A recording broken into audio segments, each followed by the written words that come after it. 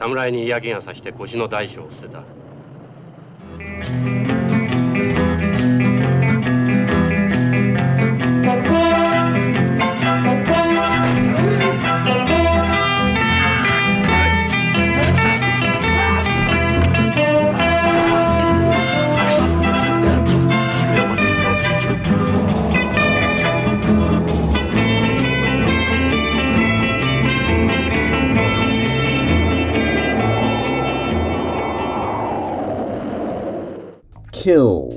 An exclamation mark.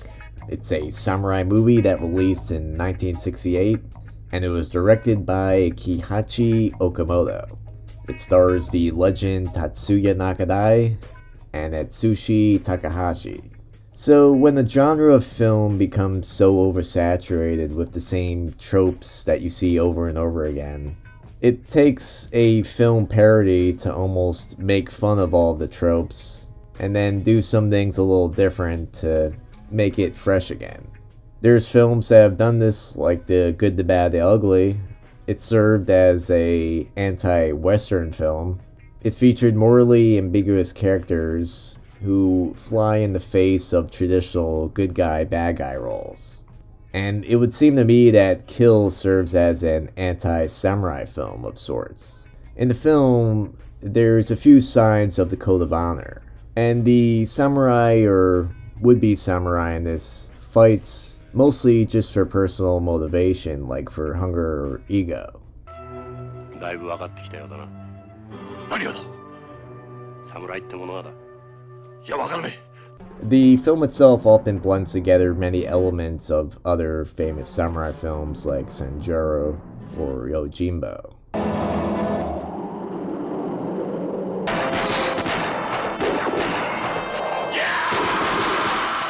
When you're in the samurai community like me, oftentimes you hear certain films mentioned more than once.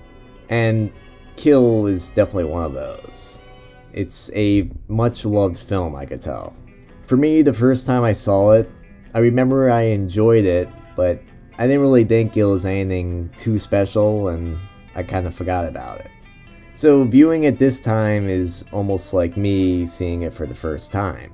And as I was watching it, it kind of reminded me of this director's other samurai film, which is titled Samurai Assassin. That film is loved too, you see it on a lot of top 10 lists. But when I watch it, I really have a hard time focusing on just what's going on with the story. Kill has sort of the same problem. There's a central storyline that focuses mostly on the two main characters, and these two characters I actually like a lot. This is definitely a highlight of the film. Nakadai in this is just outstanding. I think it's definitely one of his best roles. I've never seen him play a character like this, and it's a very comedic role, but he's also sort of cynical at the same time. He's got kind of like a dark humor.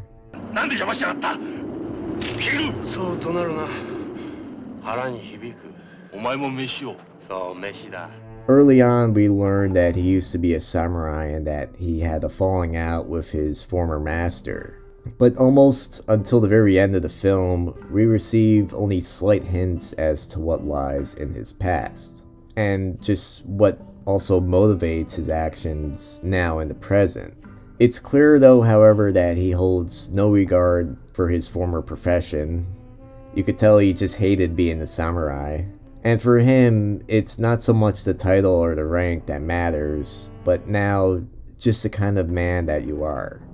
Takahashi also gives a really great performance, and he plays this ex farmer, and he's mostly the main source of comic relief.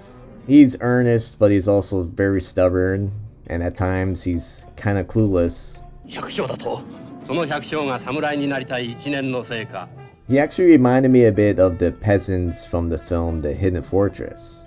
And his early fight scenes in the film are definitely among some of the funniest parts in the movie. Especially as he just tries his hardest to strike down the foe who just nonchalantly comments on how bad his technique is.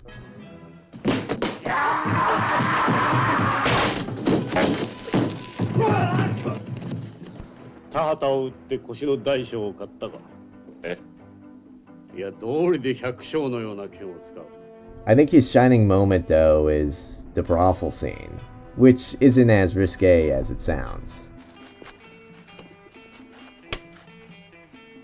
And they really need to get the foundation on this building checked. So there's definitely things like the characters in this movie and the humor that I enjoyed, but the plot is just so confusing, and I don't know if it's just me, but I really had a hard time just concentrating on it. It also doesn't help that this movie is on the longer side, it's like two hours long. I think it should have been more like 90 minutes. But maybe the confusing nature of the plot has to do sort of with the point of the film. It might be showing the chaotic nature where you have just all these different clans trying to kill each other for different reasons. And it's not just the viewer that's confused, but just the characters and the clans in this movie. They aren't completely sure on what's going on. There's powerful men that are just in the background, quietly pulling the strings. But I think overall this could have been done and illustrated in a much more satisfying way, a much more easier to understand way. Because this really would have been a classic if it just wasn't so confusing.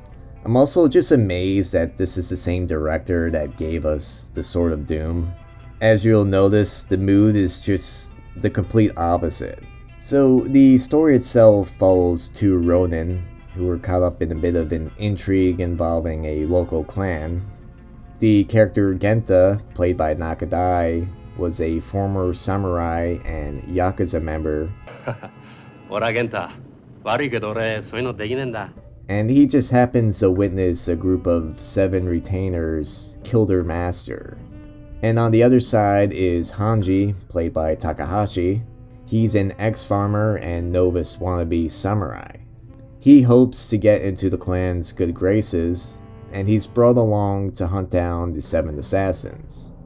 While Genta and Hanji are on opposite sides of the clan's convoluted back and forth, they end up forming a bond and a friendship, and they find themselves playing one side against the other.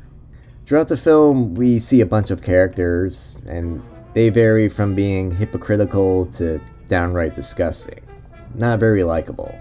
And besides the two main characters, the only other two likable characters are Oyakawa, the leader of the Seven, and Juroto, the lead guard.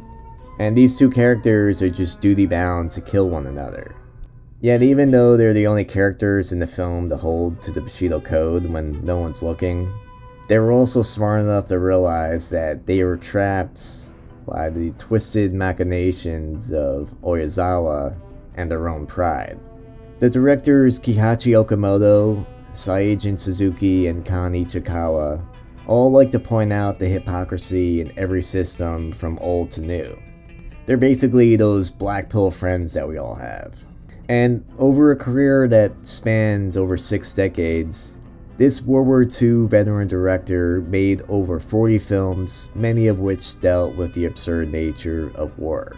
He was able to merge both high action with lowbrow comedy. While previous works like Samurai Assassin and Sword of Doom saw Okamoto on his best behavior, by 1968, the real Okamoto was unleashed.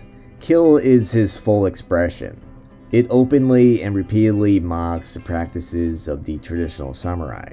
The audience point of view and the very conscience of the film is played by the Japanese legend Tatsuya Nakadai. And at this point in his career, he was no stranger to tearing down legends.